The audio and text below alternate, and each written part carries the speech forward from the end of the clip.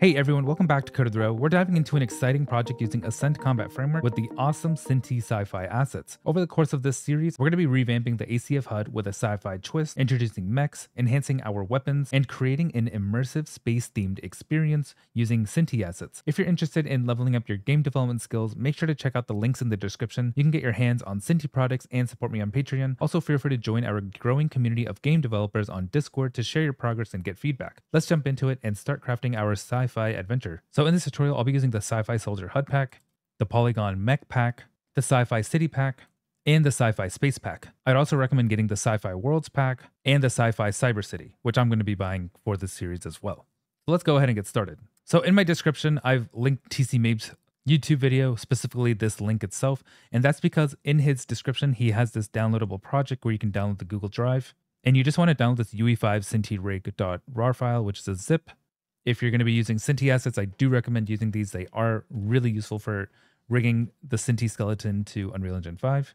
And then once you open this project up, it'll come with the ABP, IK retargeter, and so on. You just want to right click your content folder and migrate this over to the project that you're working in. So hit OK and make sure it's going to the content and make sure it's going to the content of whatever project you're migrating this to. And now that that's migrated, I can begin setting up my Synty characters, but let's also add all those other, let's also add those other Synty packs like the sci-fi space and the HUD and so on. And now that I've migrated those Unreal Engine projects, so the Polygon Mech, Sci-Fi, and Sci-Fi Space, into my project, I just need to drag and drop this Synty Sci-Fi HUD right here, and it's just a folder of PNGs, so that'll migrate just fine. And now I'm just going to save everything real quick. And now I'll go into the Synty folder that we migrated from TC Mabe's UE5 retargeter, and I'm just going to copy paste or just copy this name called SK Synty Polygon Unreal, and now I'm going to go through every single mesh of my sci-fi and sci-fi space, or every single skeletal mesh for the characters, just so I can assign the new skeleton. So I'm just going to highlight over all of these, right click. So I'm going to right click and then under skeleton, I'm going to click assign skeleton and just select this SK Synty Polygon Unreal and do it for every single one.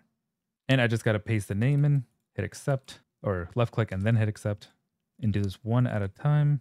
And now that's the sci-fi folder, and I'll do the same for the sci-fi space. And now I'm just gonna save all.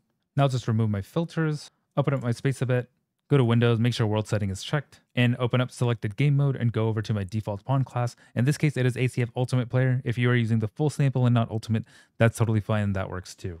And now under the skeletal mesh, I'm just gonna select one of those Synty skeletal meshes. And for the skeletal mesh, I'm just gonna choose the Space Soldier Male. And then for the anim class, I'm gonna look for that ABP Synty. And I'll just find this in the content browser, double click to open this. And I'll, I can just show you that if you hover over this retarget pose from mesh, it's going to be using that IK retargeter underscore Synty that TC made for us, which just retargets our pose that we're working on. So it just makes it really easy to just use the animations that are already in Ascent Combat Framework in order to just make this work. So now if I hit play, you'll see my character. He has some issues with the weapons going up his crotch, and that's just because um, we didn't set up the sockets on his characters. When you click I and open up your inventory, it already does come with some pistols and shotguns in Ascent Combat Frameworks. They're not really the best. They're actually very basic, but we're going to go ahead and fix that up with some, hopefully finding some free animations online. So let's go ahead and set up some of the sockets. So in order to set up these sockets, all I need to do is just open up the bone of the mesh itself, which is going to be right here in that Synty folder. So the SK underscore, this SK Synty polygon unreal, like so. And then the other thing I need to open is head over to your ACF Ultimate or full sample player, double click to open it up, go to the mesh, and just find this SKM Manny. It's going to be in the Ascent Combat Framework folder, and look for that ACF underscore UE5 mannequin. And this is going to be in your Ascent Combat Framework plugins or I guess engine folder. And what I really recommend you to do is actually just copy paste your plugins, your ACF plugins into your project folder as a separate thing.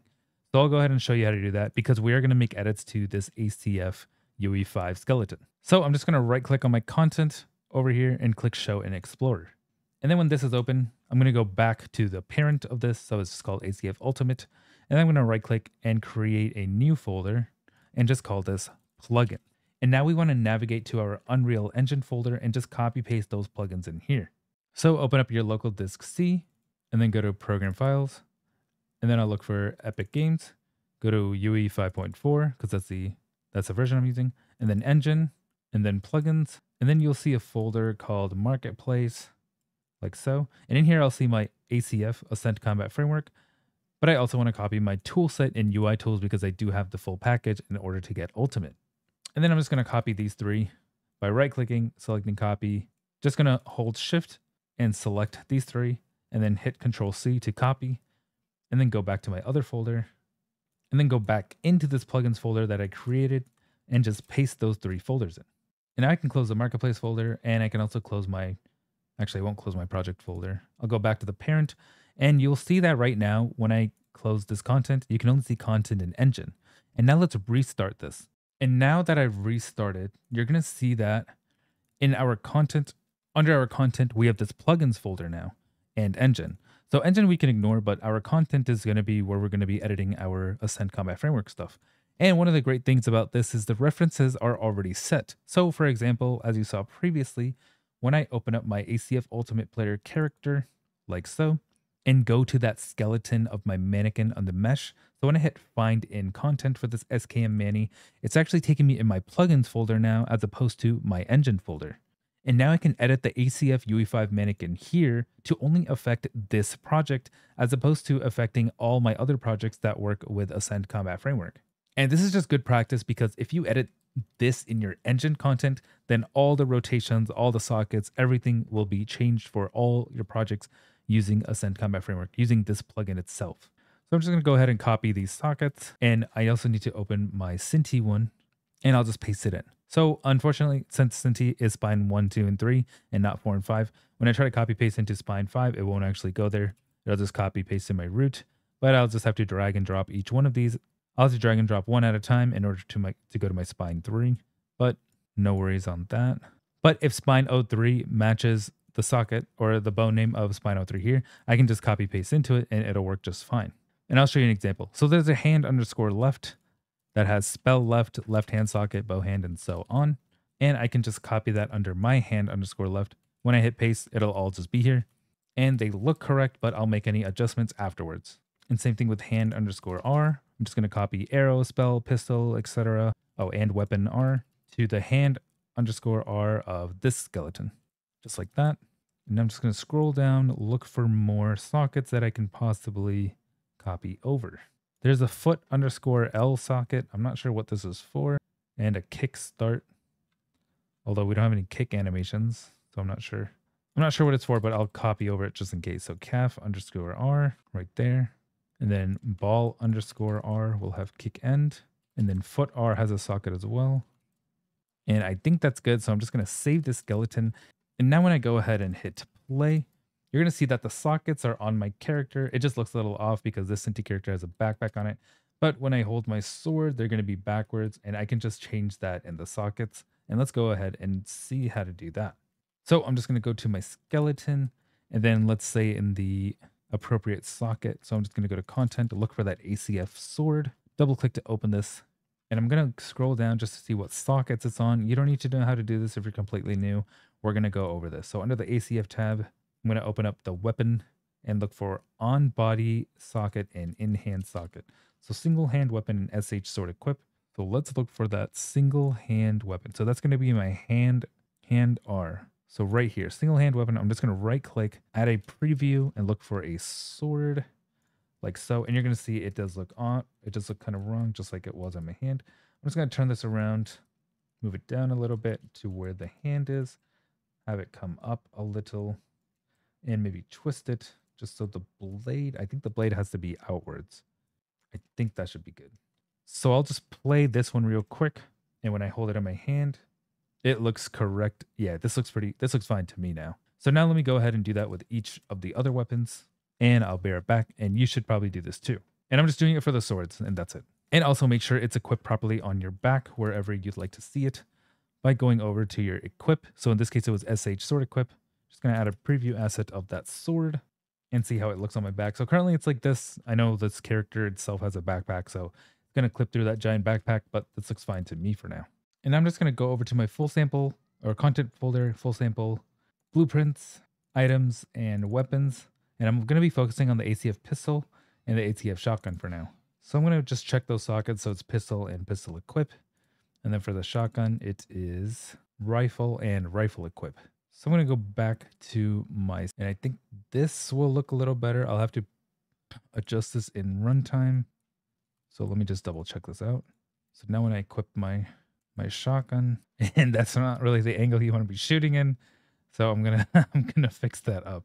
And it's currently using IK, so that's why you see the right hand stuck on the gun or the left hand stuck on the gun like that. But we just need to match up the uh, the gun to wherever my right hand is.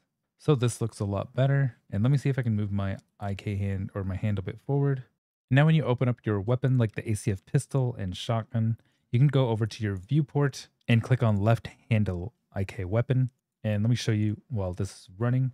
Basically, wherever you place this scene component is where your left hand is going to be, and you'll have to change it per weapon. So for example, if I move this really far forward, my hand will come out.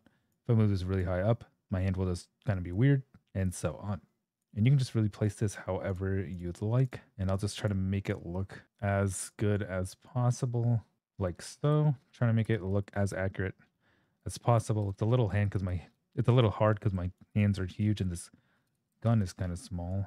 Okay, hopefully this doesn't look too drastic, but I'm going to increase the size of this. Maybe turn it a little like that. And then change that left hand IK. All right, this looks fine to me. Yeah, I'll keep it like this. So I'll just stop the game, hit compile and save. And I also want to do this with the ACF shotgun. So I'll hit play again, equip my shotgun, hit three on my keyboard to equip this. And then while right clicking to aim down, I'm going to hold F8 or click F8 so that my character is showing the shotgun. And for his left hand IK position, I'm just going to move this up a little and maybe out like so. So his hand's not being covered by this barrel. And now it looks like he's actually holding it. I'll put it back a little. And yeah, this looks this looks pretty good to me. So I'll exit, compile, save. Now let me just go around and see how it looks to actually just shoot some of the enemies. So now when I take out my gun and right click, you're going to see this aim cursor come up. I'm just going to mow these guys down. And if you notice that you get experience while reloading, that's because R is the test button. It's to reload and also to get experience. So let me just, okay, nice. and yeah, it's pretty good, but we're going to make quite a few adjustments to it and get our own weapons and own shooting style and so on. But let's go ahead and actually change um, and yeah, that's all for the first video. We got our characters working, we line up the gun a bit, learned some left-hand IK, and got our Synty models to actually work properly with Ascent Combat Framework. And yeah, thanks for watching part one. Like, subscribe, comment below to see next. And I'll see you in the next video. If you want to support my channel, feel free to check out my Synty and my Synty affiliate link and the Patreon in the description below. And feel free to join our Discord community. It's a growing group of Unreal Engine developers. And yeah, thanks for watching.